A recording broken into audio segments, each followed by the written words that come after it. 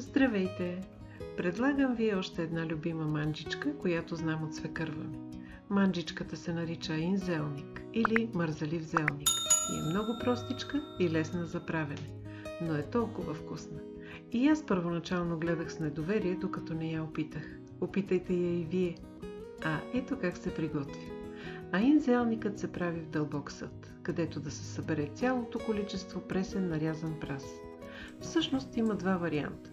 Или го печете изцяло в дълбока тава от начало до край, или го задушавате в тенджера първоначално, а после го прехвърляте в тава, или го правим изцяло само в тенджера.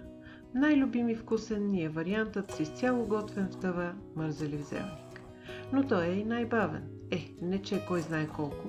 Става дума за час и половина, два часа общо време за готвене. Как става това? Нарязваме праза на не много ситно и го поставяме в съда за готвене. Посоляваме го с една-две чайни лъжици сол. На този етап сме по-внимателни с солта. Първо, зависи колко е солена солта, с която готвите вие. Второ, имайте предвид, че ще добавяме сирене, което също не всеки път е еднакво солено. Поливаме праза с 100 мл олио и го заливаме с 1 литър вода, колкото почти да го покрие. Пече се във фурната на 180 градуса с вентилатор за около час и половина, като го разбъркваме на всеки 10-15 минути, особено в началото, за да не загаря празът, който е над водата. Когато водата в тавата намалее, опитваме праза и, ако още не е напълно омекнал, доливаме още водичка и връщаме във фурната за още 10 минутки.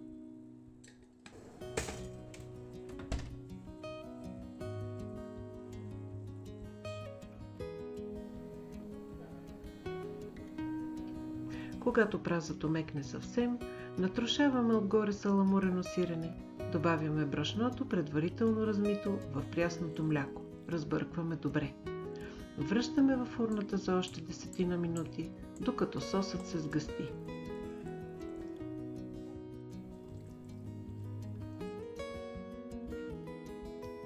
Опитваме на сол и посоляваме, ако е необходимо.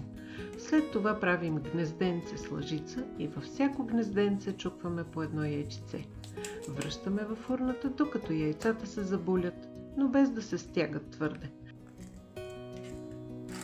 Ето, вижте, макар и вече извън фурната, яйцата продължават да се готвят в горещото ястие. Затова го изваждаме от фурната преди яйцата да са станали напълно готови. Ето такава простичка за приготвяне, но толкова вкусна манджичка е нашия аинзелник. Има вкуса на бабините манджи. Изгрява душата, като си хапнеш от него.